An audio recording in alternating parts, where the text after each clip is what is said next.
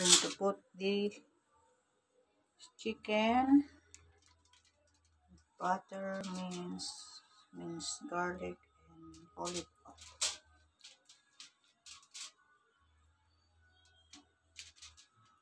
Together with broccoli,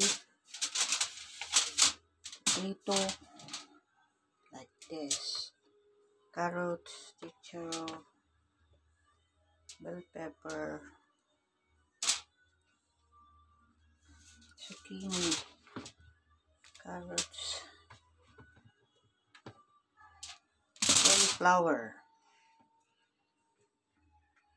like this. After this, going to put dried thyme, like this. And cover with aluminum foil.